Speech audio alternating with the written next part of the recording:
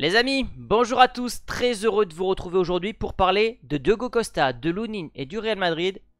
Je vous ne cache pas, j'avais pas prévu de travailler aujourd'hui. Euh, je pensais qu'il n'y avait rien à, se mettre sous la dent côté Real. Donc finalement cette info elle tombe à pic parce que bah ça nous pendait au nez cette histoire. Lunin, euh, il met le Real au pied du mur. Tic tac, titulaire ou je m'en vais? Qu'est-ce qu'on fait maintenant le Real? Parce que je vous ai bien sauvé la saison dernière, maintenant je suis en position de force, entre guillemets. Et donc survient la euh, rumeur Diogo Costa. Donc déjà, vous, comme ça, quand le nom Diogo Costa vous parvient, est-ce que vous avez un sentiment positif ou des doutes sur ce mec-là? Donnez-moi votre avis comme ça euh, dès que vous entendez cette phrase dans les commentaires, ça m'intéresse. Donc aujourd'hui, on va voir bah, le Kalounine parce qu'il y a des choses qui déconnent dans ce dossier, qui m'interrogent, on va en parler. On va parler rapidement du cas Diogo Costa. Je ne vais pas vous faire un focus sur lui parce qu'on n'est pas sur un joueur qui va signer au Real. On n'est pas la certitude. On verra les deux derniers dossiers qui traînent, Lenny Euro qui devrait être annoncé avant le 16 juillet et Alfonso Davies, apparemment euh, les discussions sont ouvertes, on verra après la Copa América.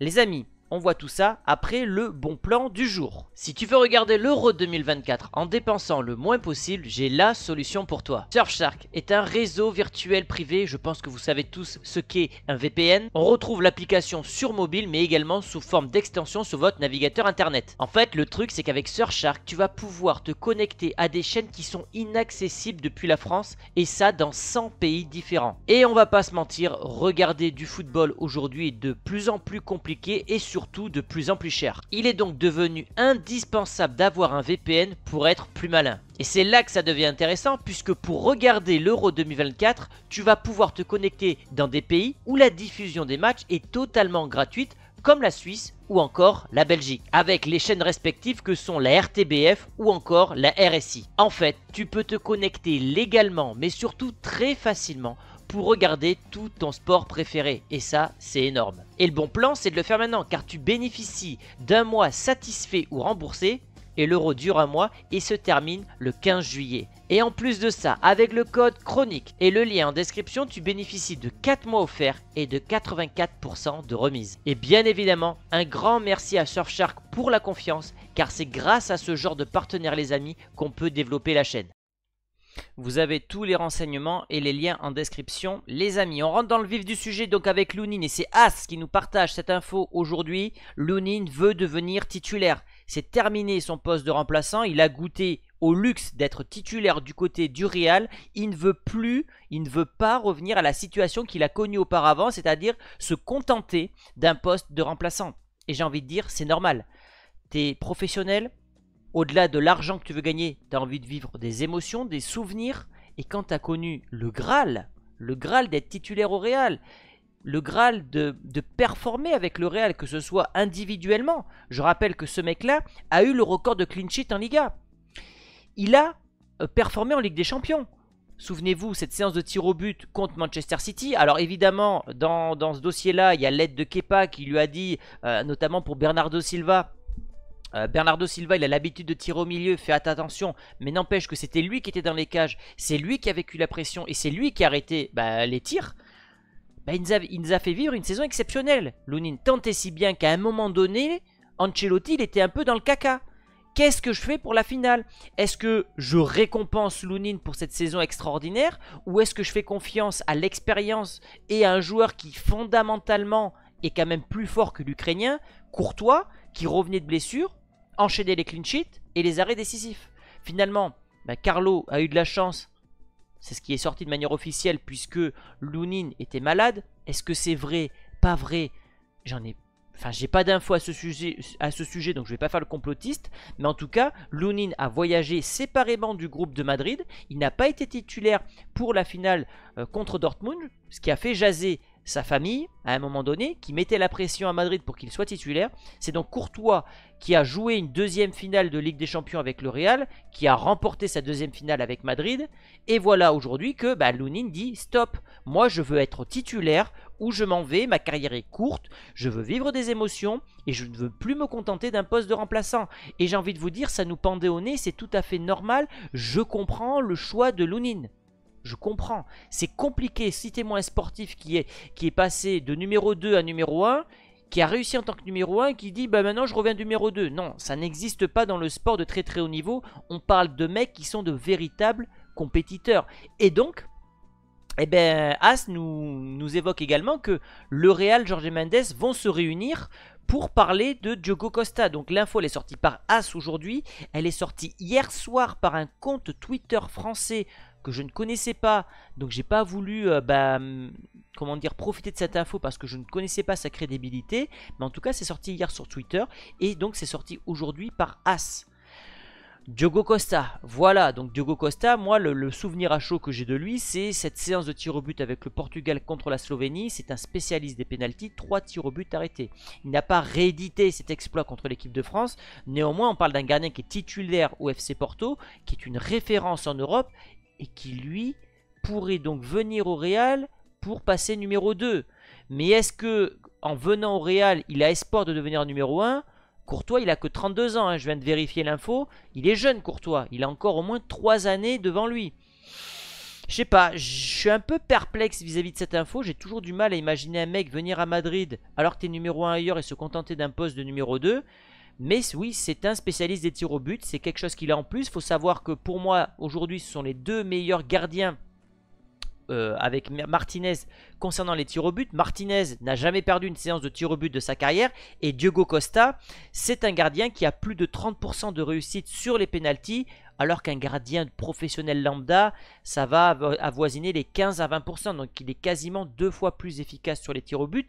Est-ce que maintenant c'est un critère pour signer au Real Madrid? Je ne sais pas. Vous avez sa fiche devant les yeux, c'est un petit gardien en taille, 1m86. Oui, j'insiste bien sur petit gardien, puisque les gardiens maintenant, aujourd'hui professionnels dans le foot, dépassent quasiment tous le mètre 90. Donc c'est assez rare d'avoir un gardien d'un mètre 86. C'est pas une mince affaire niveau tarif, c'est un gardien qui avoisine les 40 à 50 millions d'euros, donc c'est quand même un billet à lâcher. À voir combien Lounine pourrait être vendu. Est-ce que tu fais une opération blanche en vendant Lounine 50 et en achetant Diogo Costa 50 c'est possible, j'ai pas la cote de tête concernant Lounine, mais moi ce qui m'intéresse c'est deux choses deux choses. C'est que le Real n'est pas en position de force dans ce dossier puisqu'il a un contrat jusqu'en 2027. Et surtout, il appartient à Gestifouté, à l'agence Gestifouté. C'est qui? C'est Jorge Mendes. Jorge Mendes, il y a un passif avec le Real. C'était l'agent de Ronaldo, de Pep, de Quentrao, de James Rodriguez. Il avait beaucoup de joueurs au Real, tant et si bien que Pérez a dit stop. Stop, euh, Mendes, tu quittes le Real et il a viré au fur et à mesure tous les joueurs parce qu'il devenait un poids, parce qu'il avait trop de poids au Real Madrid. Est-ce que Pérez va faire re-rentrer, je vais prendre cette métaphore, le loup dans la bergerie? Ben, J'ai des doutes là aussi. Donc j'ai plusieurs doutes concernant Diogo Costa, pas concernant son talent, mais plutôt concernant sa possible venue. Il est titulaire à Porto. Il va accepter d'être remplacé à Madrid? Vraiment? Ok, pourquoi pas? Et le Real va-t-il accepter de refaire affaire avec Mendes? J'ai des doutes.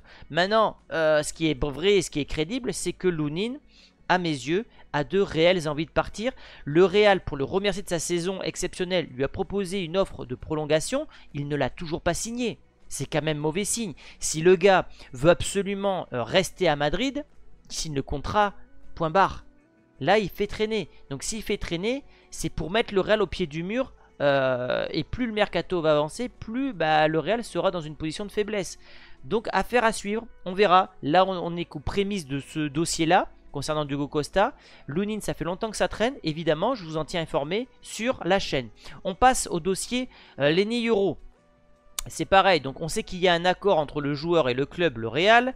Mais le Real espère conclure et annoncer le transfert avant le 16 juillet, puisqu'après le Real va commencer à préparer la, préparation estivale aux États-Unis. On sait qu'il y a plein de joueurs qui ne vont pas en faire partie, les 4 Français, euh, Valverde, bref, tous ceux qui sont encore en compétition avec le Real, Bellingham. Donc Arda Güler, Hendrik, Vinicius devraient en faire partie et Lenny Euro pourrait également en faire partie s'il venait à signer avant. Euh, pour ce coup, euh, le Real est en position de force puisqu'il reste une année de contrat euh, aux joueurs du côté de Lille. Donc en gros, bah, le Real dit bah, nous on vous a proposé une offre. Le, Real, le joueur veut venir que chez nous. On vous propose, alors je sais pas combien, 30 ou 40. Vous prenez, vous prenez pas. Si vous prenez pas, on le prend libre l'année prochaine. Et on, peut vous dire que on a fait Rudiger, on a fait Alaba comme ça, on est prêt à attendre. On a fait Mbappé. Nous on n'est pas pressé. On n'est pas pressé. Donc vous prenez l'argent de suite ou vous le perdez libre l'année prochaine. C'est dommage pour vous de perdre 30 à 40 millions d'euros. Je vous caricature la situation, mais c'est un peu ça ce qui se passe du côté du Real Madrid. Affaire à suivre. Alfonso Davis, c'est un peu la même chose. Le Real est en position de force puisqu'il reste une année de contrat au Canadien. Alors le dossier est un peu en suspens parce que bah, Alfonso Davis fait une superbe Copa América avec le Canada. Ils sont en demi-finale. Je pense malheureusement pour lui que ça va s'arrêter là parce qu'ils affrontent l'Argentine de Messi qui est en route pour faire un triplé Copa Mondial Copa. Et, sachant que l'Argentine a déjà battu le Canada, j'ai du mal à voir les Canadiens réaliser cet exploit. Sait-on jamais. Mais voilà ce que nous partage Kicker aujourd'hui. La tendance est claire. Alfonso Davis devrait quitter le Bayern Munich dès cet été. En tout cas, les infos qui sortent d'Espagne sont très claires. Le Real va accélérer ou mettre fin au dossier après la Copa América. Là, le joueur, il est focus sur sa compétition ah ben, avec finalement sa sélection et c'est tout à fait normal. Et dès que le Canada sera éliminé, bah, le Real va rentrer ou re-rentrer dans la danse et on aura plus d'infos à ce sujet, sachant qu'on l'a appris aujourd'hui également par Mario Cortegana, journaliste espagnol, le Real aurait accepté l'idée de signer Alfonso Davis tout en gardant Ferland Mendy, ce qui n'était pas finalement le cas dans les semaines précédentes.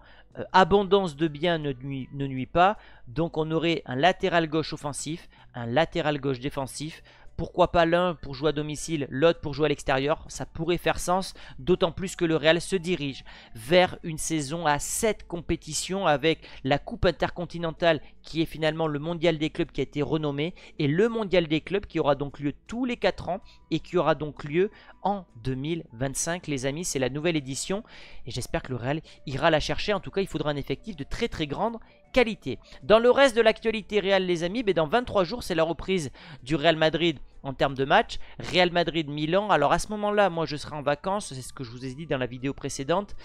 Je serai en vacances, j'aurai besoin de souffler.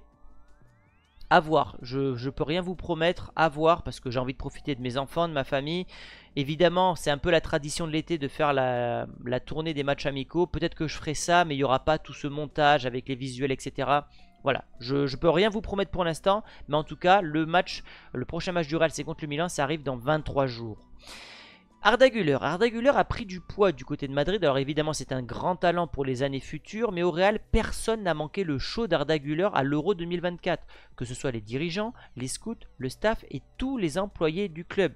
Ce qui m'amène à vous dire que je vais vous préparer une vidéo dans les jours qui suivent bah, courant juillet sur le 11 que je veux voir du Real Madrid pour la prochaine saison. Et quel poste je veux donner à Arda Güler? Parce que Arda Güler, selon moi, doit prendre de plus en plus de poids. Tu as une équipe très jeune qui va grandir dans les années futures. Tu te sépares de joueurs cet été, Tony Cross, Rossellou, euh, Nacho. Maintenant, place aux jeunes, place au pouvoir pour ces jeunes. Et je pense qu'Arda Güler va prendre de plus en plus de place, notamment avec le départ de Nico Paz. Je crois que c'est du côté de Retafe ou de l'éventer, je ne sais plus, vous me direz ça dans les commentaires. Et juste avant de conclure cette vidéo, je suis content de voir que Carlo Ancelotti coupe, il vient de fêter euh, ses 10 ans de mariage avec ce qui est sans doute sa deuxième femme, on va pas faire dans le closer, mais voilà, en tout cas il profite bien, il est aux états unis au Canada, il coupe, il en aura besoin parce que la saison qui va arriver va être très éprouvante. Et enfin, dernière info, ça concerne un joueur de Madrid, ça concerne Mbappé, je suis très surpris par cette statistique, très surpris parce que je le trouvais emprunté, je le trouvais lourd et je trouve qu'il est lourd. Et malgré ça, malgré ça, Mbappé est le joueur le plus rapide de l'Euro avec une pointe enregistrée à 36,5 km/h, ce qui en fait le joueur le plus rapide de l'Euro 2024. J'ai hâte de le voir travailler sous Pintus, de le voir fondre et surtout de le voir jouer avec le Real Madrid, les amis. Voilà ce que j'avais à vous dire aujourd'hui. Vous pouvez me rejoindre sur Instagram et surtout donnez-moi votre avis sur Diogo Costa Lunin. Qu'est-ce que vous préférez? Garder Lounine, mais un Lounine qui serait mécontent Faire venir Diogo Costa Est-ce que vous y croyez? Vous y croyez pas? Bref, exprimez-vous, faites-moi part de votre avis sur ce gardien. Moi, je vous dis à très vite les amis pour une prochaine vidéo. Et n'hésitez pas à la liker si ça vous a plu. Je vous dis à très vite. Ciao les amis